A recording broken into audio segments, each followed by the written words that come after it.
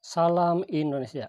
Kawan-kawanku di seluruh Indonesia, selamat pagi, selamat berjumpa lagi dengan channel saya, channel berbagi informasi. Dan pada kesempatan pagi ini, admin akan berbagi informasi tentang pencairan bantuan sosial untuk program Keluarga Harapan, yang mana terhitung mulai tanggal 4 Januari 2021 sudah dicairkan atau disalurkan. Tetapi sebagian penerima PKH ada yang mengatakan katanya dananya berkurang. Simak video berikut, tetapi jangan lupa klik dulu tombol subscribe-nya agar admin semakin semangat dalam mencari berita. PKH untuk periode 1 atau tahap 1 terhitung Januari, Februari, Maret 2021 sudah disalurkan. Cek saja secara berkala.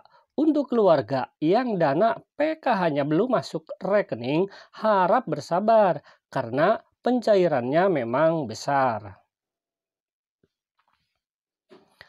Penerimaan dana PKH sebagian ada yang mengatakan berkurang dan memang ini jangan heran atau jangan kaget. Dirangkum dari beberapa harian media online ini adalah aturan terbaru untuk program PKH 2021.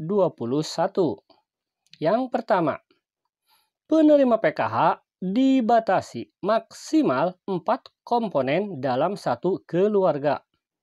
Kedua, komponen ibu hamil dibatasi pada kehamilan anak yang kedua. Dan anak usia dini maksimal dibatasi dua orang saja.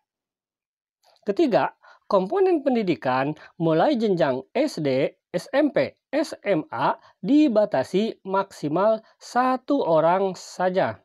Misalkan, masyarakat penerima PKH memiliki anak SD dua orang, anak SMP satu orang. Maka untuk anak SD yang bisa masuk ke dalam program Bansos PKH hanya satu orang saja. Keempat, untuk lansia di atas 70 tahun dan disabilitas berat maksimal satu orang saja. Sehingga penerimaan dana PKH untuk tahun 2020 dan tahun 2021 sebagian masyarakat ada yang kaget kok katanya dananya berkurang.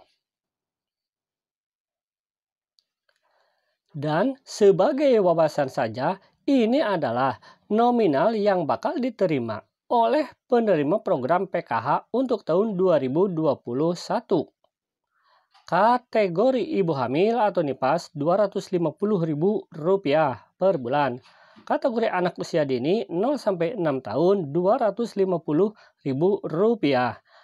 Kategori anak SD sederajat Rp75.000, SMP Rp125.000, Anak SMA Rp166.000, penyandang disabilitas berat Rp200.000, kategori lanjut usia di atas 70 tahun Rp200.000.